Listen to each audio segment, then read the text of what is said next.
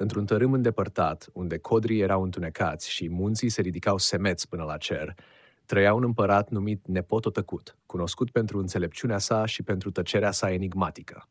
Împăratul avea trei fii, Flăcăruș Clipici, Mezinel Spiriduș și Bălănel Cosmeticus. Pe cât de diferiți erau între ei, pe atât de unite erau inimile lor în dorința de a aduce fericire și prosperitate în regat. Într-o zi, nepototăcut a convocat o adunare de urgență. Fii mei, a spus el, regatul nostru este în pericol.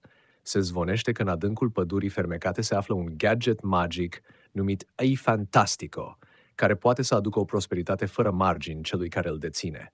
Vă cer să mergeți și să-l aduceți pentru a salva regatul nostru. Cei trei fii s-au pregătit cu de toate necesare. Smartphone-uri de ultimă generație, costume de camuflaj cu leduri și încărcătoare solare. Primul care a plecat a fost Flăcăruș Clipici, cunoscut pentru spiritul său aventuros și setea de cunoaștere. El a intrat în pădure, ghidat de aplicația GPS, dar după câteva zile de căutări fără rezultat, a fost capturat de vrăjitoarea Wi-Fi, care era supărată că îi consumase datele mobile.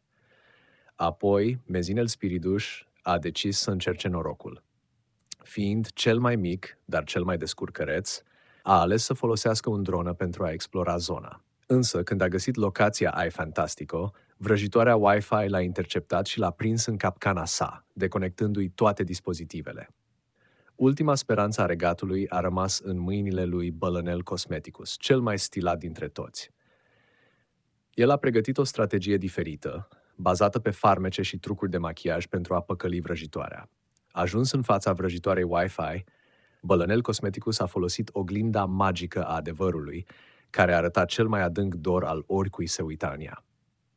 Vrăjitoarea Wi-Fi, văzându-și reflexia, a realizat că adevărata ei dorință era să aibă prieteni și să fie conectată la oameni, nu doar la dispozitive.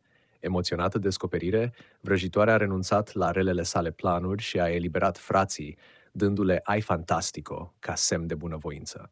Cu gadgetul magic în mâinile lor, cei trei frați s-au întors în regat, unde au fost întâmpinați cu bucurie.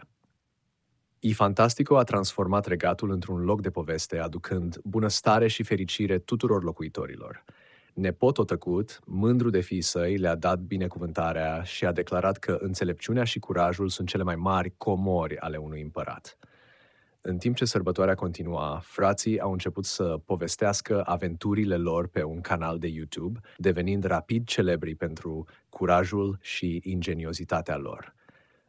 De atunci, regatul nu doar că a prosperat, dar a devenit și un exemplu pentru întreaga lume despre puterea legăturilor de familie și importanța tehnologiei bine folosite. Și acum, dragii noștri cititori, dacă vreți să vedeți mai multe aventuri ale fraților, nu, nu uitați să dați like, share și subscribe.